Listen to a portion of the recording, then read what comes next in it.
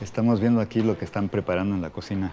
Qué bonito se ve todo. Y... Se ve bonito, pero si en realidad supiera la gente lo que cuesta que lleguen ahí esas frutas y verduras. Es verdad, es un gran sacrificio, eso conlleva esfuerzo, son largas horas de trabajo. Yo lo he vivido en mi propia carne, ah, he trabajado en las cosechas de los tomates, ah, de las fresas y de otros productos, pero después de una larga... Este, jornada de trabajo. Mire, al otro día uno ni se puede levantar.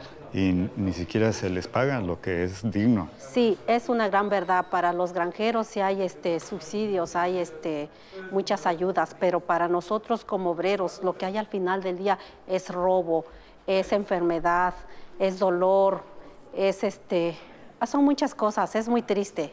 Y lo irónico es que sin esos trabajadores no funciona el sistema alimentario.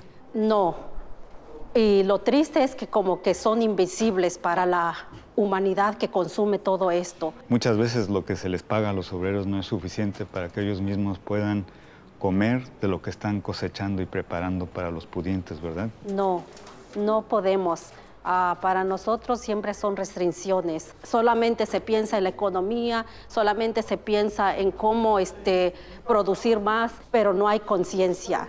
Muy bien dicho, Natalia. Me ha dado mucho gusto conocer. Ah, yo también, Ricardo. Parece que compartimos las mismas ideas y ah, yo, por mi parte, voy a seguir haciendo conciencia en la gente de cómo y de dónde vienen estos productos que llegan a sus mesas.